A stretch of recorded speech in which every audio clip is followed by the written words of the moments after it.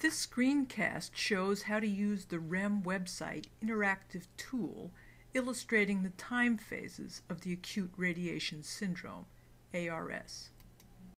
This is the tool. First look at the long horizontal colored rectangle along the top. It presents from left to right the four time phases of ARS. Prodrome, when ARS signs and symptoms first appear, a latent phase, when most prodromal symptoms abate, a manifest illness phase, when the patient is the sickest, and finally, either recovery or death. Second, notice the panel on the left with five radiation dose ranges in units of gray. As I click through the dose ranges in the left panel from lowest to highest, notice three things in the colored rectangle at the top.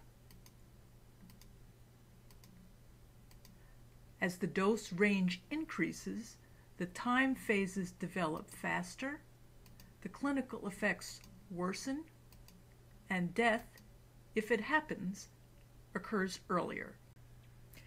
Next, look below the gray horizontal rows at the four text columns describing each of the four time phases, and the bar graph on the left illustrating three ARS subsyndromes, hematopoietic, H, gastrointestinal G, and neurovascular N.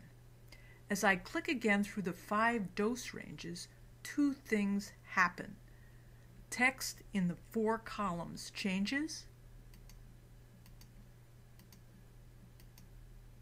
and the bar graph changes as well, reflecting worsening severity for the ARS subsyndromes.